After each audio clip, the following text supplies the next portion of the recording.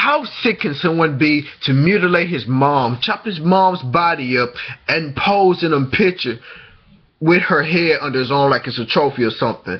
If you don't want to hear me talk about this and, and give my expressions about this, the link will be in the description area below. You can click on that link and watch the news article about that, the, the news video, whatever. But this 23 year old dude from New York chopped his I don't know if he killed her or not, he blamed it on his friend or whatever, but still and honestly, he still chopped his mother's body up, posed in the mirror, taking a picture with her head under his arm like he's doing something like it's gonna put on Instagram or something and you know I don't even know why he's going on trial, you know. Insane or not, he needs to face the consequences, you know. Um they have the evidence of him taking a picture with his mother head under his armpit.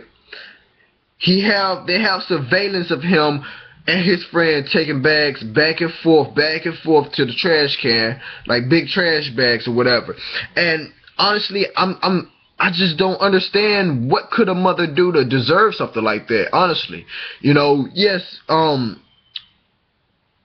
you know, me and my mom we had arguments but at the end of the day, we was always good. We was always, you know, back on the same note. At the end of the day, we still had that love for each other. And you know, that what that what parents and, and, and kids do.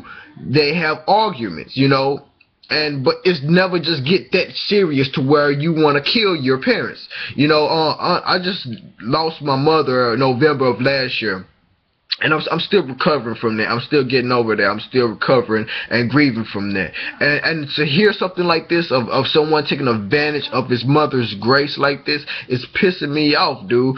I don't even know why he's on trial. He really, I mean, he don't even need to face the death penalty. He needs to face life, you know, just to to to let that guilt eat him up, you know, because his little brother have to live in a world without his mother. You know, I don't care if your mother's a crackhead, heroin addict, or meth, whatever, homeless, or whatever.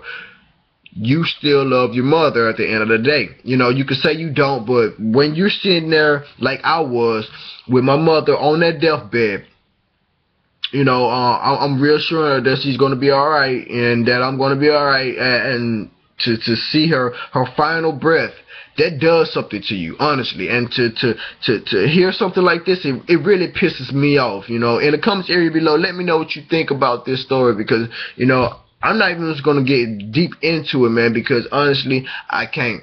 You know, um, I still have nightmares about, you know, situations. I still have dreams and stuff. I'm still really getting over it. And to hear something like this, it pisses me off. You know, I just want 15 minutes in a room with this dude. Like, honestly, I really do.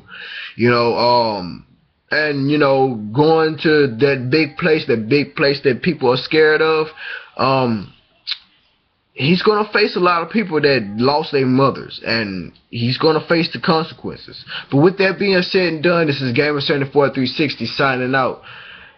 Leave your thoughts in the comments area below. Peace.